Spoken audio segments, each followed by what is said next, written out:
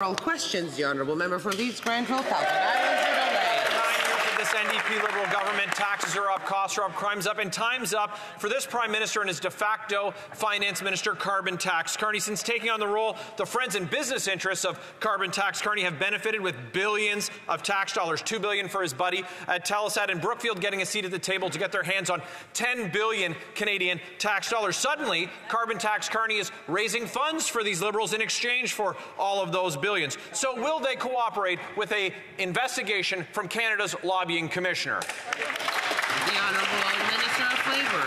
Well, Madam Speaker, the Death Valley well driller is poking more dry holes. Out outstanding Canadians stepping up to advise the Liberal Party or any party is a very good thing.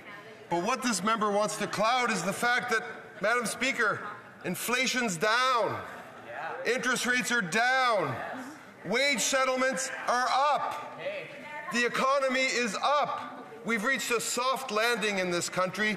They should stop talking the country down. We're going to continue lifting the country up, Madam Speaker. Leeds, Grenville, Thousand Islands, Rideau Lakes. Like all Canadians, I wish that every time we looked for a scandal, it wasn't just surface deep, like the public safety minister found guilty of breaking the law, the prime minister broke the law, the trade minister broke the law. These guys can't help themselves. And now he wants to tell us that Canadians have never had it so good, and that's why they have carbon tax Carney, who's lining the pockets of his friends and himself, also that he'll raise a little cash for a dying Liberal Party. Canadians have absolutely enough after nine years of their corruption and grift. So why won't the Prime Minister subject his new de facto finance minister to the conflict of interest regime? Is he worried that he's going to be found guilty of breaking the law too? Honourable Minister of Labour.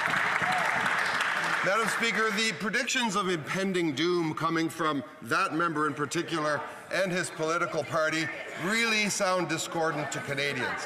What is happening across this country, Madam Speaker, is that after the pandemic, we've achieved that rare feat a soft landing, no recession, wage gains, inflation coming down, interest rates coming down in this country. The finance minister this very week putting in place measures that will make young people more able to purchase a home. Madam Speaker, these are things that you do when Honourable Member for Leeds, Grenville, Thousand Islands, Rideau Lakes. Let's talk about what they've achieved. Record lineups at food banks with 25% of Canadians not knowing where their next meal is coming from, not able to heat their homes, a third of food bank users being children. They are starving and freezing in the dark after nine years of this NDP Liberal government and their carbon tax on everything that's being boosted by carbon tax Carney, who's only doing it, of course, to raise his stock portfolio, which we saw with Brookfield stocks hitting six months high in exchange for policies from this government and for him fundraising for them. Canadians are broke. These Liberals broke them. Let's have a carbon tax election.